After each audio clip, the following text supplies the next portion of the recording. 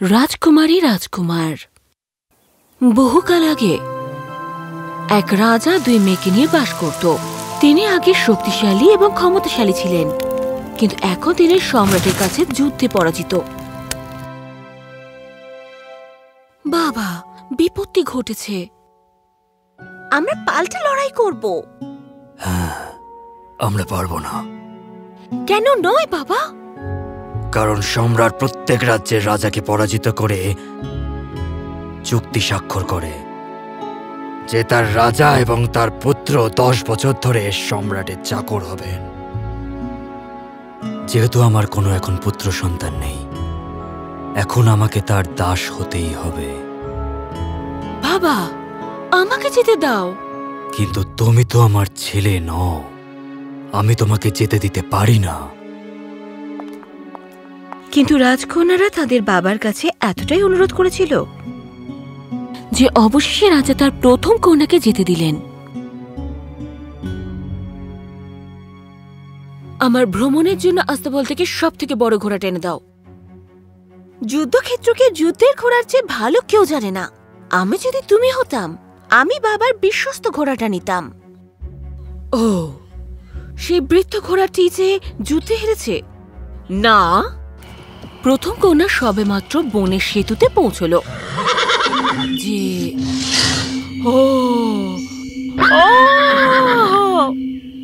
রাজকুমারী এতটাই আতঙ্কিত হয়েছিল যে সে তার ঘোড়াটি ঘুরিয়ে নিল এবং প্রিয় জীবন বাঁচাতে পালালো। রাজা পুরোপুরি হতাশ হলেন। বাবা, দয়া করে আমাকে যেতে দাও। তোমার বোনের কি হয়েছে তুমি দেখনি? আমি তোমাকে হতাশ করব না। বাবা বিশ্বাস করো। তো সেও তার বড় বোনের মতো ফিরে আসবে ভেবে রাজা তার দ্বিতীয় কন্যাকে যেতে দিলেন। সে তার বাবার সবচেয়ে পুরনো ঘোড়াটি খুঁজে নিল। ও প্রিয় ঘোড়া তুমি আমার বাবার সাথে তার দুর্দান্ত জয় এবং দুর্দান্ত পরাজয় ছিলে। আমি আপনার মান্য রাজকুমারী। তোমার বাবার মতো সাহসী যোদ্ধা আমি আজ পর্যন্ত দেখিনি। তুমি কি আমার সাথে আসবে এবং তোমার প্রতিদি আমাকে সাহায্য করবে? আহ একমাত্র তোমার বাবাই চিনতে পেরেছিল যে ওই ঘোড়াগুলোই হলো যোদ্ধা। আর তুমিও ততটাই জ্ঞানী। আমি তোমাকে যে কোনো ঝামেলা পরীক্ষার মধ্যে থেকে সঠিক পথে এগিয়ে নিয়ে যেতে সাহায্য করব। ধন্যবাদ। দ্বিতীয় রাজকন্যা পরের দিন ঘোড়ায় চড়ে চলে গেল। সে সবে মাত্র প্রথম সেতুতে পৌঁছেছে। দেখতে পেল বিশাল ভাল্লুকটিকে। ভয়ঙ্করভাবে গর্জন করছে। মনে রাখবেন রাজকুমারী আপনার সর্বশ্রেষ্ঠ অস্ত্র হলো আপনার মন আর হৃদয়। তুমি কি ভাল্লুকের চেয়ে দ্রুত দৌড়াতে পারো? অনেক দ্রুত। তাহলে এখানে আমরা সেটাই করব।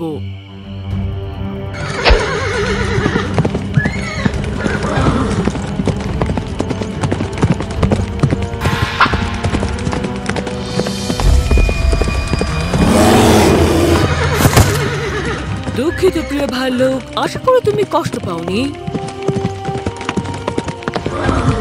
শুভ সূচনা রাজকুমারী। যদি এটাই শুরু হয়, তাহলে বনটি আরও মারাত্মক প্রাণীতে ভর্তি হবে। দাঁড়াও এক সেকেন্ড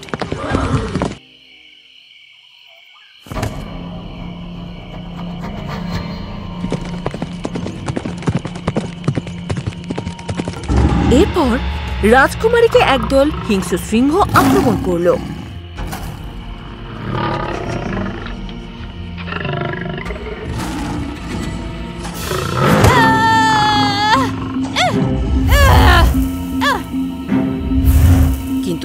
রাজকুমারী প্রস্তুত ছিল।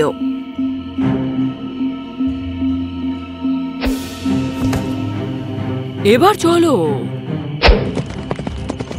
অন্য কোনো যোদ্ধা হলে একটা বা দুটো সিংহকে হত্যা করে ফেলতো। তারা চেষ্টা করছিল নিজের বাড়ি রক্ষা করতে বহিরাগতদের থেকে এবং নিজেদের খাওয়ানোর। এর জন্য কোনো রাজা বা রানী তাদের শাস্তি দিতে পারে না। তুমি ঠিক তোমার বাবার মতো মহৎ এবং দয়ালু। রাজকুমারী, এখন আমরা বারোটি মাথা সহ ড্রাগনের অঞ্চলে আছি এবং মাথার প্রতিটা অংশ থেকে আগুন আসে। সরাসরি তোমার দিকে।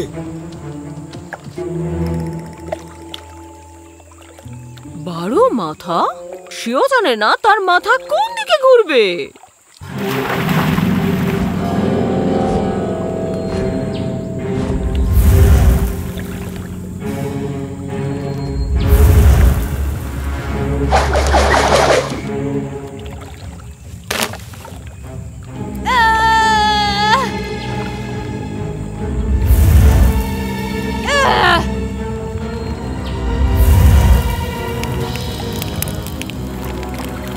এখন সে নিজের আগুনে নিজেকে পুড়িয়ে ফেলছে, এবার চলে যাওয়ার সময়।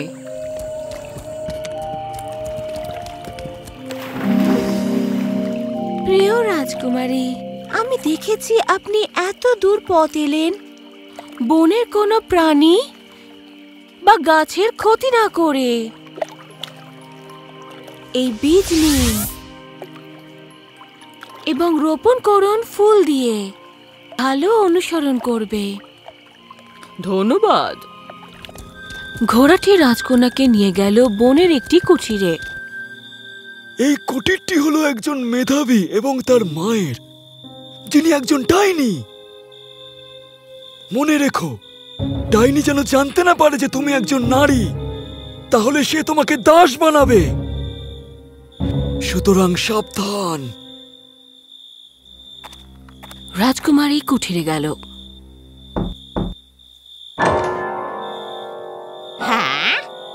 আমি একজন সৈনিক এবং আমি আমার পথ হারিয়েছি। আমাকে কি রাতের জন্য জায়গা দেবেন দয়া করে? জাদু করে তাকে আসতে দিল। কিন্তু সব সময় সে সন্দেহ করছিল যে সৈনিক একজন মহিলা। সে অবশ্যই একজন মহিলা। এই বনে একজন নারী এসেছে। এটা অসম্ভব। আমি তোমার কাছে এটি প্রমাণ করব।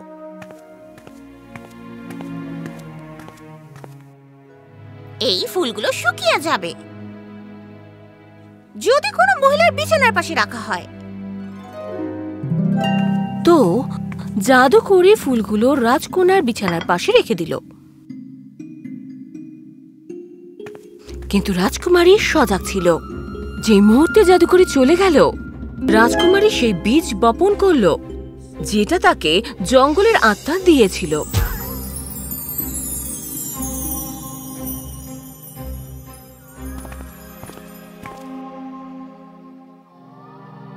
মা আমি তোমাকে বলেছিলাম যে এ হলো একজন সৈনিক।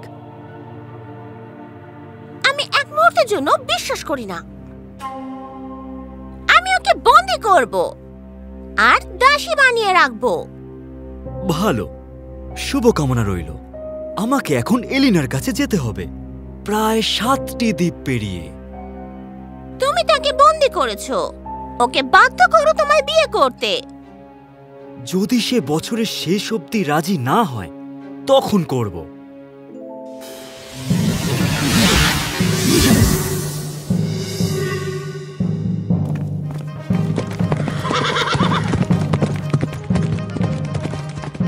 চলে গেছে।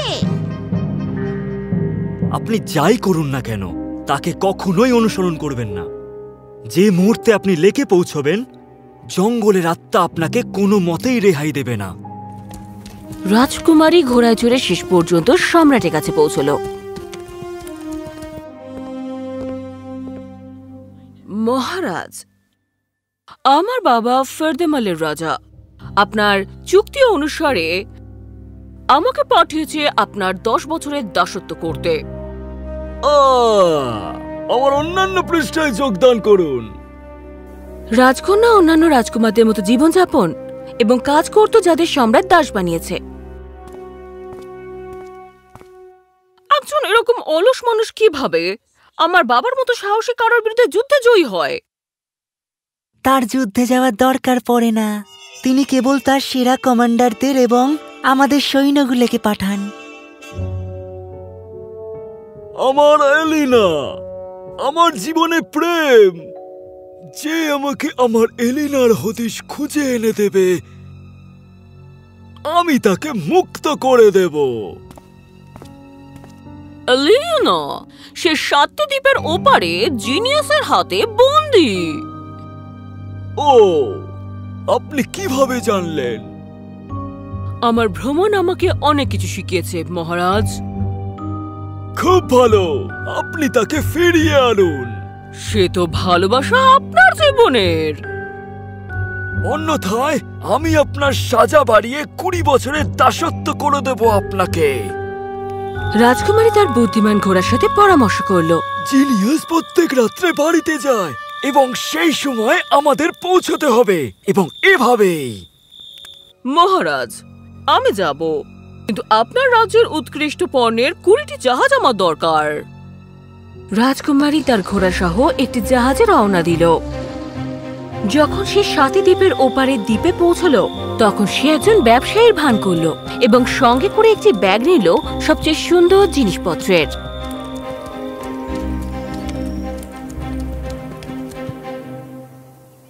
তুমি কে?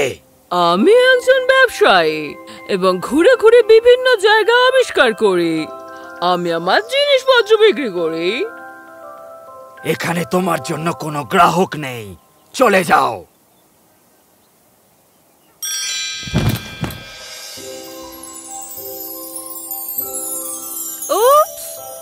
আমি দুঃখিত। আমি চলে যাচ্ছি।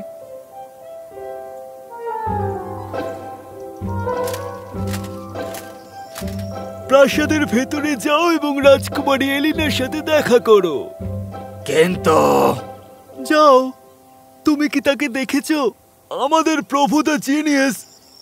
রাজকুমারী এলিনাকে প্রভাবিত করার চেষ্টা করছে দীর্ঘদিন ধরে।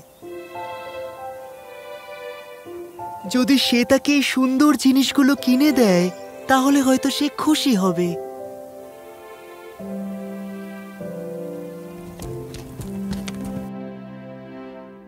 প্রিন্সেস অলেনা এই নিন আপনার জন্য আমার উপহার। চলে যাও। আমি এখানে আপনাকে বাঁচাতে এসেছি, রাজকুমারী।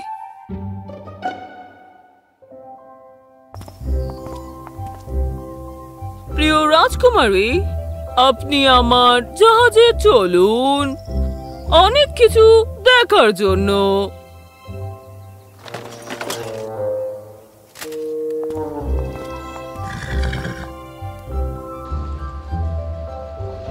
যে মুহূর্তে এলেই না, জাহাজে উঠল রাজকুমারী রওনা হলেন।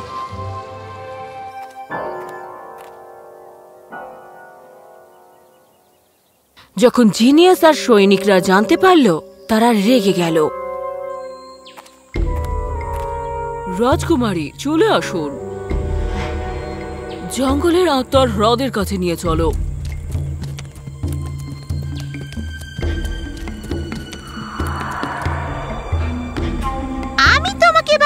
ধরবো স্বাগত আমার রাজ্যে।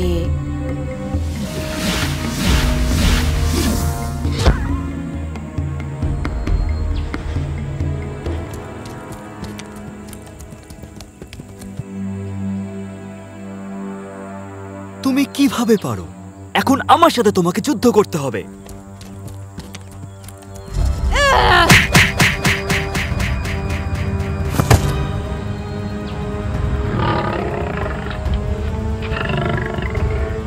ওরা আপনার রক্ষা করবে।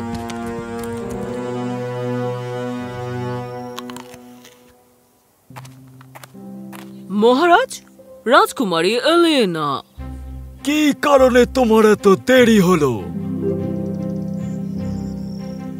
হ্যাঁ? হ্যাঁ। এলেনা। ও, তুমি অনেক সুন্দর যতটা না আমি ভেবেছিলাম। আমি তোমাকে আমার স্ত্রী করতে চাই। কিন্তু আমি তোমাকে বিয়ে করতে চাই না? আমি সেই যে তোমাকে জিনিয়াসের হাত থেকে উদ্ধার করেছি। তুমি না? তোমার আশ্রিত বাঁচিয়েছে জিনিয়াসের থেকে। নারে কত দুঃসাহস তোমার। আমি যখন বলেছি তোমাকে আমাকে বিয়ে করতেই হবে। পুরুষরা যা বলে নারীরা তাই করে।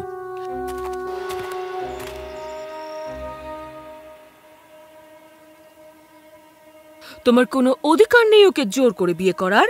যদি বা তুমি ওকে উদ্ধার করলে। ও তোমার দাসী নয় কেবলমাত্র তুমি একজন পুরুষ বলে। আমি তোমাকে সভ্যতা শেখাবো।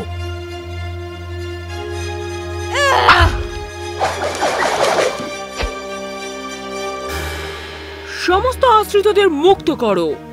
রাজকুমারী এলিনাকে দেশে পাঠানো হবে সম্মানের সঙ্গে।